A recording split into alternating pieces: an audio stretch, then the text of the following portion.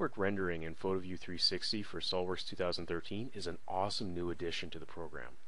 So what you can do is you can actually set up this network rendering client on any computer on your network and you can harness that computer's processor to help with a rendering job. Now when you launch the network rendering client, it'll automatically enter into client mode waiting for a job, but you could also have it set up so that it's running on a schedule.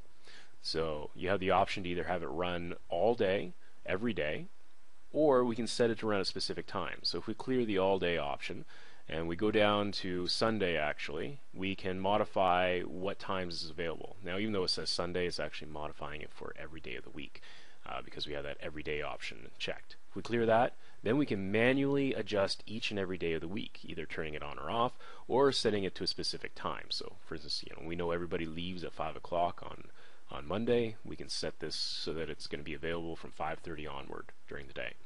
So now once we've got everything set up to the schedule that we want, and we enable the schedule, then we can switch over to our SOLIDWORKS workstation. Now here we're going to be able to leverage these other computers on the network to help me do my render job.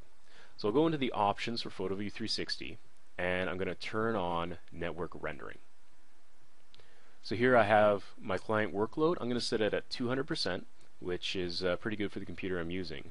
Now I'm going to get a little pop-up with some information about uh, network rendering and it's going to give me uh, some warnings that sometimes network rendering it's it's not going to be as helpful um, as as maybe I, I, I might have thought at first. And the reasons are for one thing all my pre-processing has to be done on this computer. So if you're looking at this pre-processing that's happening right now and think, man, that was fast. Well, that's because I just sped it up by 2,000%.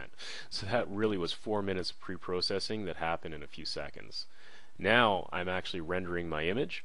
And you see those those orange squares. Those are the, the buckets of, of information that are being processed here on my local system. But you see the blue ones. Those are the buckets that were sent across the network to the other computer. They haven't moved yet and that's because the other computer is still getting set up. All the information is still getting transmitted across the network, and it hasn't actually done any processing yet. It hasn't started rendering any of those buckets. So you can see that the local processor kicks in right away, but we still are waiting on that network processor to uh, to come along and start helping out on this rendering job. So that's why it's important to, to kind of weigh the size of our job. Is it really necessary to send it across the network? And if not, it might be better to do it locally. Or if it's a really big job, then we can send it across the network. And we see now that those those yellow uh, buckets they're starting to process now. We're seeing the render coming through, and it's helping out with my job. So you see, it's not quite as quick as the local, but it's definitely going to help me out uh, if I have a very big render job to do.